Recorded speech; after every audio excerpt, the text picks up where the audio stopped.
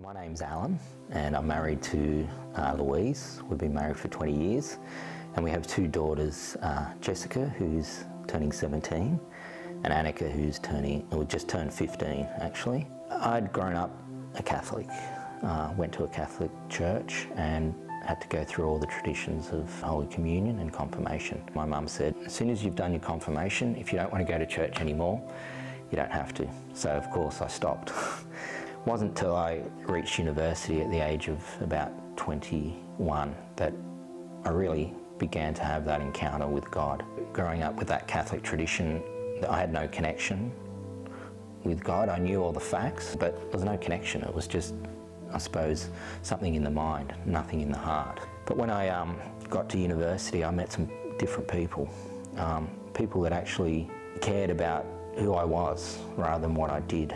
And that really struck me. Um, and I thought, you know, who are these people? Also, I was tutoring um, a student and he was a Christian and he was different as well. His family were different. They were very friendly, very caring. Um, and also, um, I was playing in a band and the bass player also had that sort of personality. All of them were different. There was something about them that was different. You know, they, they cared. Um, they you know, they listened, you know, and, and they seemed to have some sort of joy, some sort of peace in their lives, you know. It got me intrigued. So looking back on it now, I realise that God was actually, had his hand on me. Although, you know, I was successful uh, academically and having good time in the band and had lots of friends and all that sort of stuff, there was something missing in my life. And I could see that in the friends that I encountered um, that were Christians. I didn't really have that peace or that, that joy, I suppose. I mean, I was happy, but deep down, you know, I didn't really have that, that peace. Um, you know, I was well aware that uh, we would die one day and that, you know, there is some sort of life after death, but I didn't really have that assurance that I'd be going to heaven. I knew there was a heaven, you know, from my Catholic upbringing, but I just wasn't, wasn't sure if I was going. I realised that um, a huge thing that I was missing uh, in my life was a relationship with God. I mean, growing up a Catholic, you know everything in your head, you know, the rituals, but you don't have that connection. You don't have that heart connection. It's all up here, but it's not here. And I could see that with my friends that were Christians. They had that connection, that relationship. The friends at university kept uh, inviting me to church, and this guy, he was very persistent. You know, every couple of weeks, you know, he would invite me to church. And I, I think, you know, I didn't brush him off because I really respected him, and he was a kind, uh, kind guy. So I relented, and I ended up going to the church.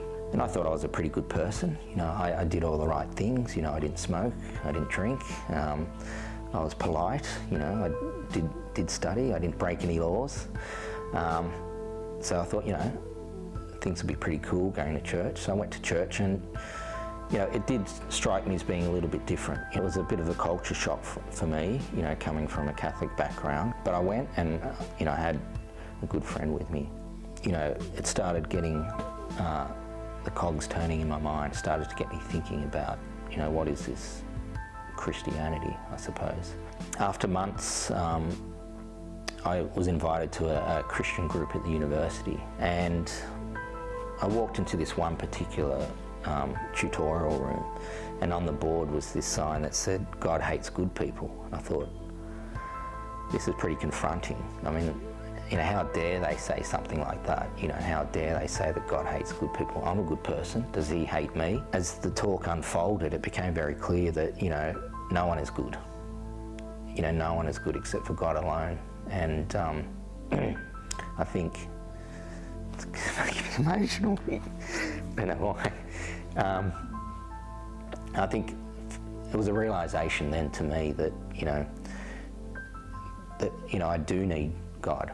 And no matter how successful you are, um, how academically gifted you are, you know, how rich or how poor you are, you know, we do need God. There was a, there was a bit of a talk about um, a particular uh, passage in the Bible, and this particular verse was in um, Ephesians chapter 2, verse 9, and there it talked about you're saved by grace, not from what you've done, you know, not by any works, but it's a gift um, from God. And that just hit me like a lightning bolt through the eyes.